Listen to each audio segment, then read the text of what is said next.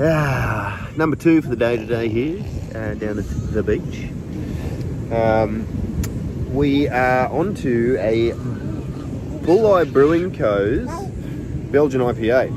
A mate of mine brought this back from uh, the Bulli Brewing Co. and uh, gave me one to try. And I'm pleasantly surprised at how nice it is. Mm.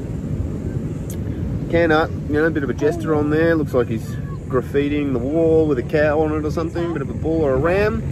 Um, it smells like an IPA should. Fruity, hoppy. Um, and yeah, there's sort of like some sort of banana kind of herb, kind of clove going on in there.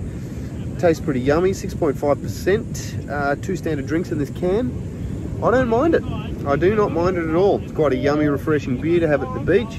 No stouts today down here. Just uh, sticking to the hazies and the IPAs and keeping it fruity patooty. Cheers, guys. Ah, baby screaming. I'm going to go. Catch ya.